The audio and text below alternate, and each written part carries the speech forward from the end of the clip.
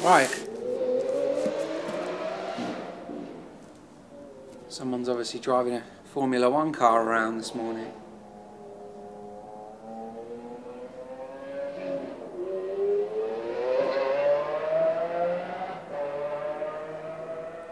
Jeez, that sounds fantastic. anyway, in front of me and you is the new Peachtree Audio Design 5 stand mount speaker.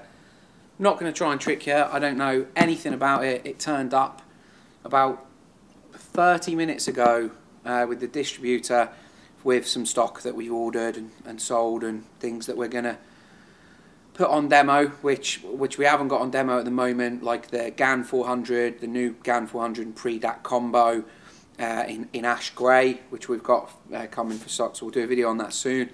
I'm currently uh, listening to the pre-DAC and AMP 500, which was the the sort of reference uh, before the GAN 400 came out, so I'll probably uh, release that video. Still a very relevant product, but it sits one below the GAN 400 in the line interesting to me are these. They're doing them at a um, at the moment as a promotion with the pre-DAC and GAN 400 package, and I'm pretty sure with the pre-DAC and AMP 500 package, i would have to clarify on that. Cost-wise, you're looking at 590 pound, although there will be 380 pound if bought with the bundles, the AMP 500 and pre-DAC, and the GAN 400 and pre-DAC, which are for 249 and for 799 respectively and uh, yeah so they're, they're doing a bit of a promo on these at the moment to get them out there with the with their products you know which is always quite cool.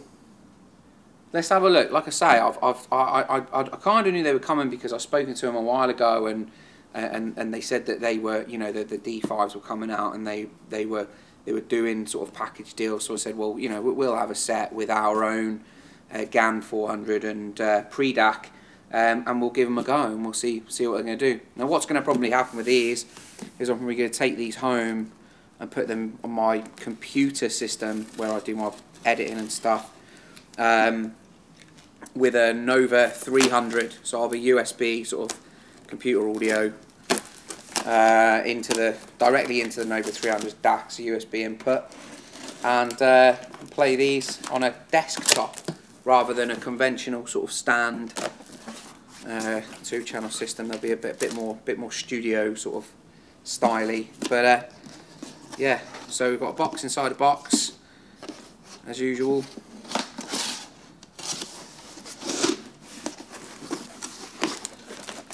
Owner's manual in a funky little must be a Canadian thing like a strange binder.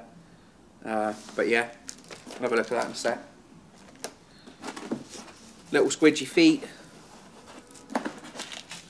Bag of the old uh, bag of the old dry stuff.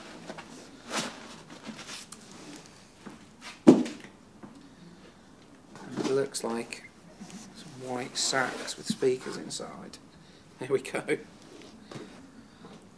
God, that is. I don't know if you just heard that or, or, or the camera may have vibrated, but that's a substantial speaker. At 590 is not really. I don't know. I don't know. You'll have to excuse my reactions because, of course, that, like I say, I've, I've not opened them before. This is it. Really what I was expecting, but that feels like a like a very heavy, expensive speaker. To be fair.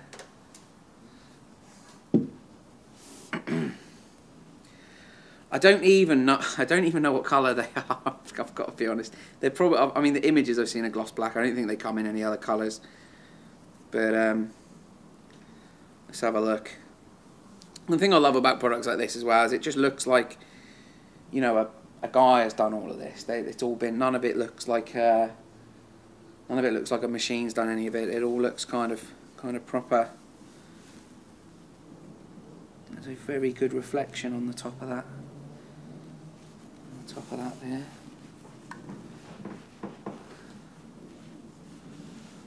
Let me get my uh, Lazy Susan. This thing is a cheap like piece of crap, but it'll let me spin this speaker around. That is a heavy speaker. Um, let me just get this. Uh,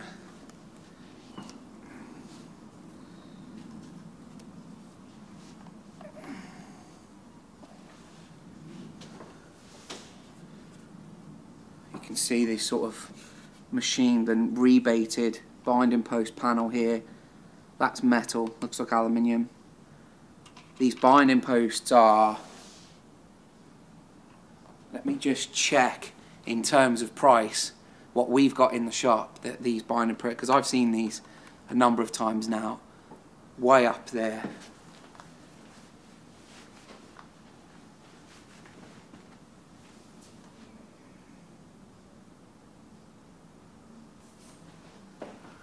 Okay, so, I mean, the Dynaudio Evoke has the same posts. The Evoke 20, it's 1800 quid. Um, yeah, I'm not too sure how good a comparison that is, but, you know, you don't usually see posts like this on a, a sub 600 pound speaker.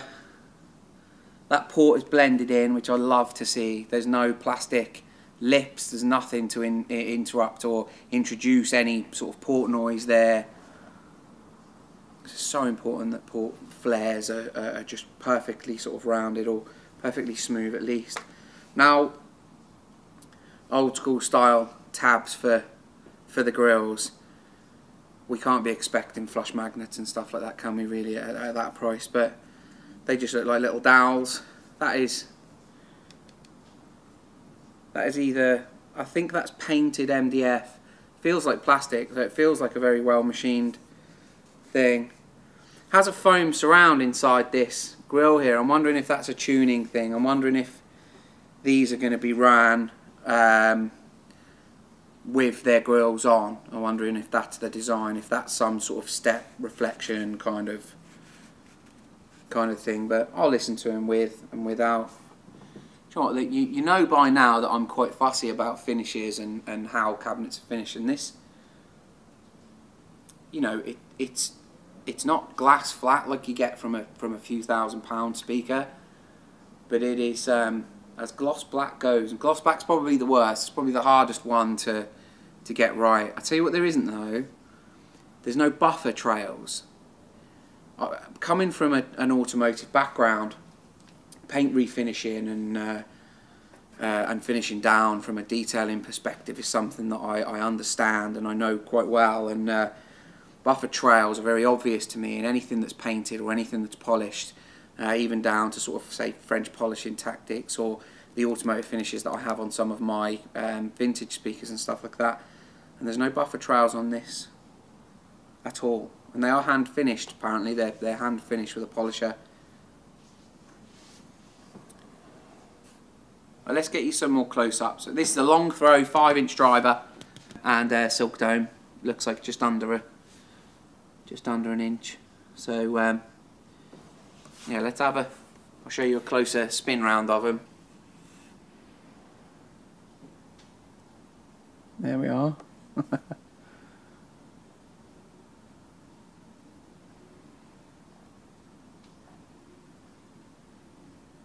there isn't any lip there. That is smoothed in to that port.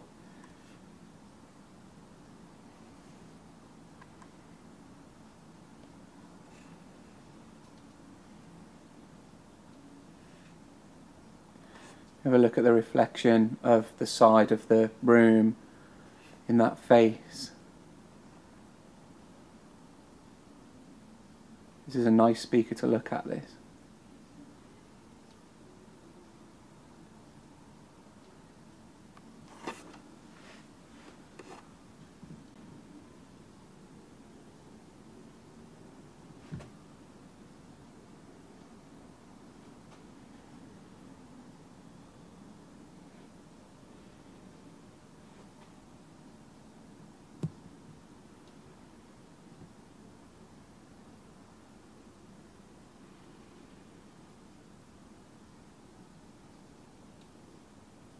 So yeah, that's the D5.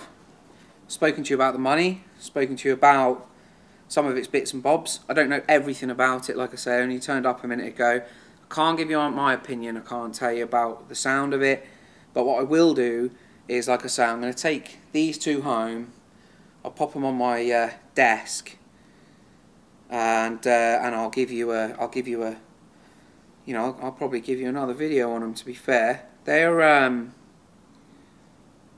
they're really substantial. Really dead. Like that's not it's very surprising that in the hand. I don't know if you get that or if you understand that like and anything that's anything that you sort of hold or you know lift up that's got that sort of real high quality which is you know 99% of the time is a real high cost you know high ticket product so it's a bizarre one I wasn't really expecting to lift out such a such a heavy inert speaker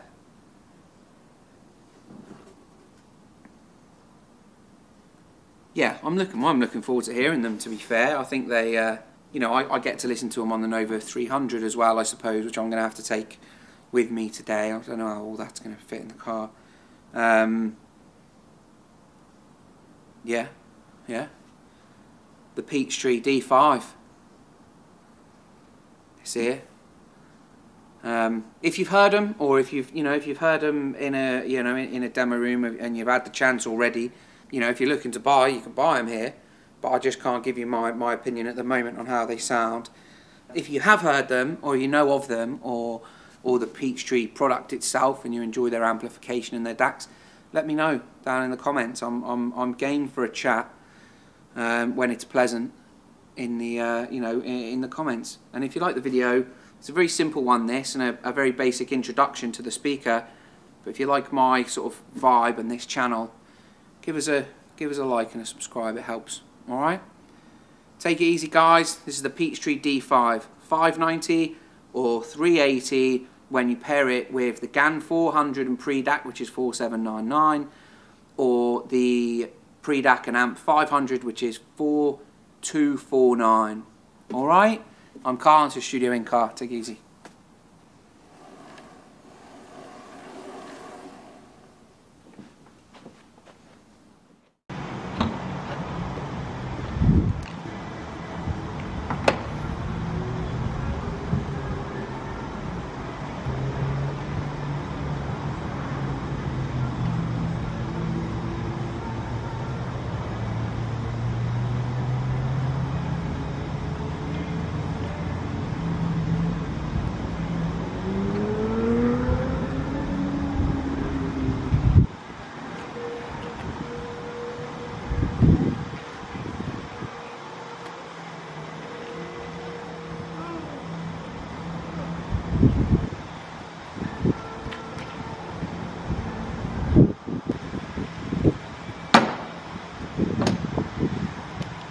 Try and tell me it's not.